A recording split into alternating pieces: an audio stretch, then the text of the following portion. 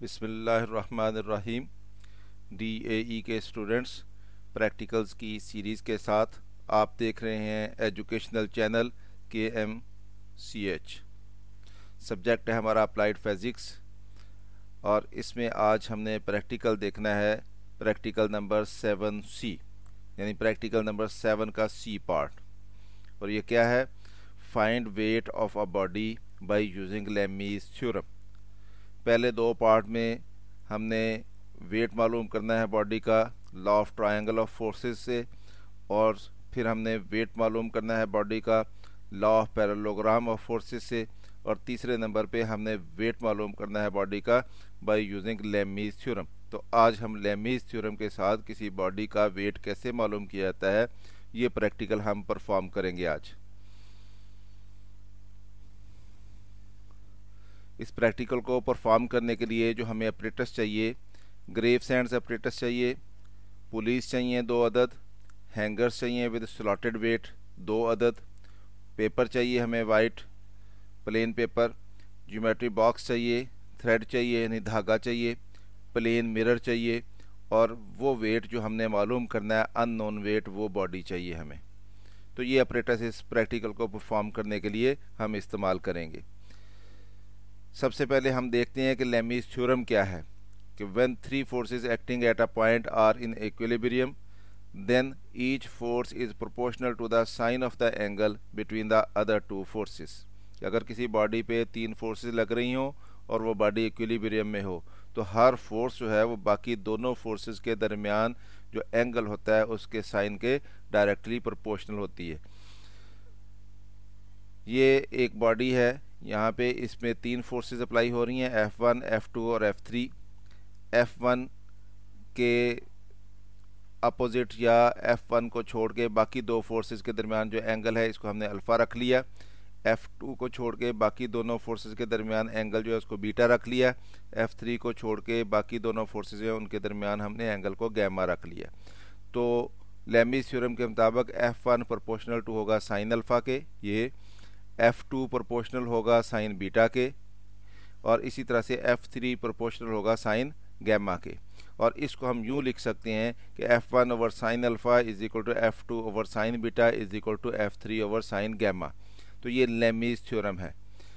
Mathematical form है Lami's theorem की। तो हमने इसको अप्लाई करना है और अननोन वेट जो हमें दिया जाएगा उस वेट को मालूम करना है। देखते हैं प्रैक्टिकल को परफॉर्म कैसे किया जाता है। हम ग्रे सैंड अपरेटस लेंगे और उसके दोनों एज से एक एक डेढ़ डेढ़ इंच छोड़ के हम दो पुलियाँ जो है इस तरह से अटैच कर लेंगे जैसे आपको दिखाया गया है। इस ग्रे सैंड अपरेटस पे हम एक वाइट पेपर जो है उसको स्कॉच टेप के साथ हम इस तरह से पेस्ट कर लेंगे। अब हमने तीन धागे लिए, यहाँ पे इनको गिरा दी, एक धागा इस पुली के ऊपर से गुजार लिया, दूसरा धागा इस पुली के ऊपर से गुजार लिया और तीसरा धागा जो है उसको फ्री छोड़ लिया। जब हम लेमिस थ्योरम वेरीफाई करते हैं तो हम इन तीनों धागों के तीनों एंड पे तीन हैंगर बांधते हैं और उनमें स्लॉटेड वेट डाल लेते हैं। लेकिन अब हमने, क्योंकि बॉडी एक है, उसका वेट मालूम करना है, फ़र्ज़ कर ये बॉडी है जिसका वेट मालूम करना है तो इसको जो हमने फ्री धागा छोड़ा हुआ है, इसके साथ हैंग करेंगे। और बाकी दो जो पुलियों के ऊपर से गुजारे हैं, इनके साथ हमने दोनों हैंगर बाँध के उनमें बाट डाल लिए और इनको नोट कर लिया कि हमने कितना कितना बाट जो है इनमें डाले हैं। इधर हमने 70 ग्राम और इधर भी हमने 70 ग्राम बाट डाल लिया।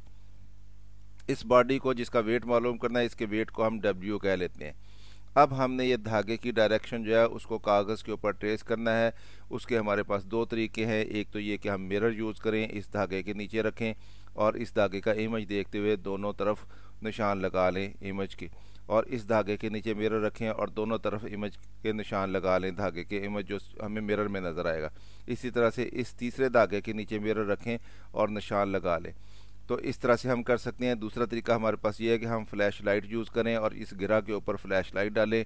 तो इन धागों के इमेज जो है डार्क इमेज जो है, वो कागज़ के ऊपर हमें नज़र आएँगे। तो हम एक गिरा का निशान लगा लें और इन धागों के निशान लगा लें तीनों के। इस तरह से। तो ये हमें फ्लैश लाइट डाली है तो हमने इस धागे के हमें ये इमेज नज़र आ रहे हैं। ये गिरा है, इस गिरा का ये इमेज नज़र आ रहा है। तो इसी तरह से तीनों धागों के डार्क इमेज नज़र आ रहे हैं। तो हम इस तरह से निशान लगा लेंगे। गिरा का निशान लगा लिया और तीनों धागों का निशान लगा लिया। इसके बाद हम ये पेपर जो है ग्रेव सेंड ऑपरेटर से उतार लेंगे और इसको हम इस तरह से परफॉर्म करेंगे। हमारे पास ये पेपर आ गया, निशान लगे हुए इन दोनों निशानों को मिलाती हुई लाइन खींच दें, इन दोनों निशानों को मिलाती हुई लाइन खींच दें और इन दोनों निशानों को मिलाती हुई लाइन खींच दें इस तरह से। ये फुटरूल रखा, इधर को लाइन डाल दी और ये फुटरूल रखा, इन दोनों को मिलाती हुई लाइन बना दी और यूँ फुटरूल रखा, इसको मिलाती हुई लाइन खींच दी। तो इस तरह से ये तीन लाइन जो हैं, ये हमारे पास कागज़ के ऊपर आ गई। अब हमने लिख लिया कि ये पॉइंट सेवन न्यूटन थी, ये पॉइंट सेवन न्यूटन थी और इधर हमने वेट हैंग किया हुआ जो मालूम करना था।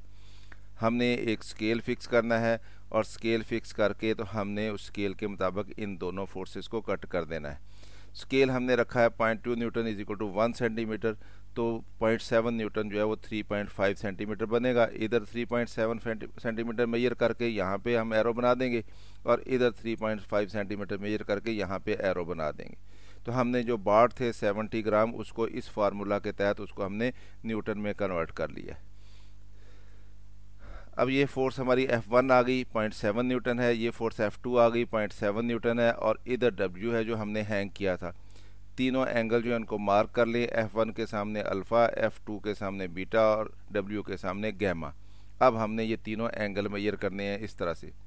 अल्फ़ा को मैयर करने के लिए यूँ प्रोटेक्टर रखेंगे, ये एक एक सौ बतालीस डिग्री आ गया, इसको एक सौ बतालीस डिग्री रख लेंगे। बीटा को मेजर करने के लिए यूँ प्रोटेक्टर रखेंगे, और ये हमारे पास ये भी 142 डिग्री आ गया। तो इसको 142 डिग्री लिखेंगे बीटा को, और गैमा को मेजर करने के लिए यूँ डी रखेंगे प्रोटेक्टर यूँ रखेंगे, और इसका एंगल जो है ये 76 डिग्री आ गया। तो ये हमने तीनों एंगल मेजर कर लिए तो ये हमारे पास फाइनल रिज़ल्ट आ गया, हमारे पास ये कागज़ आ गया, जिसके ऊपर सारे एंगल भी आ गए और फोर्सेस भी आ गई सारी, और ये डब्ल्यू है जी, हमने मालूम करना है।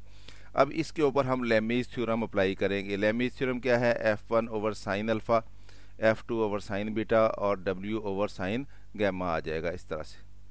तो ये हमारे पास लेमीज थ्योरम आ गई। अब इसमें से सिर्फ़ हम इतना पोर्शन ले लेते हैं, इतना, कि हमने W over sine gamma is equal to F two over sine beta है। तो ये पोर्शन हमने ले लिया W over sine gamma is equal to F two over sine beta अब इसमें हमें एफ़ टू का भी पता कितनी है, हमें गैमा भी पता है एंगल हमने मैयर कर लिया कितना है, हमें बीटा भी पता है कितना मैयर कर लिया हमने उसको तो इनकी वैल्यूज़ लगा देते हैं।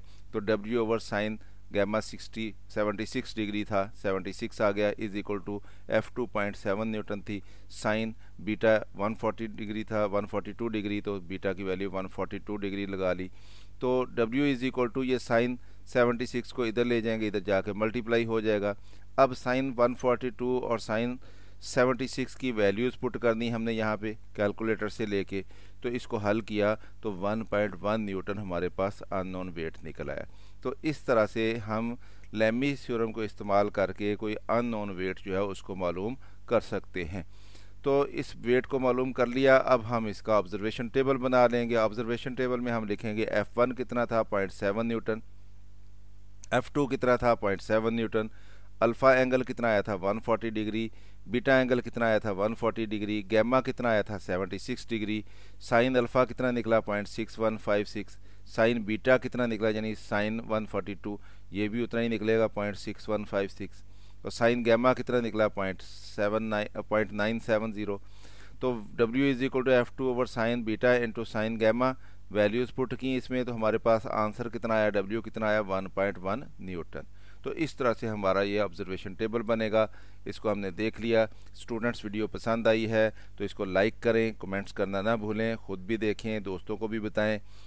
और चैनल अभी सब्सक्राइब नहीं किया तो इसको सब्सक्राइब कर लें। मेरी तरफ़ से अल्लाह हाफिज़, शाद रहें, आबाद रहें।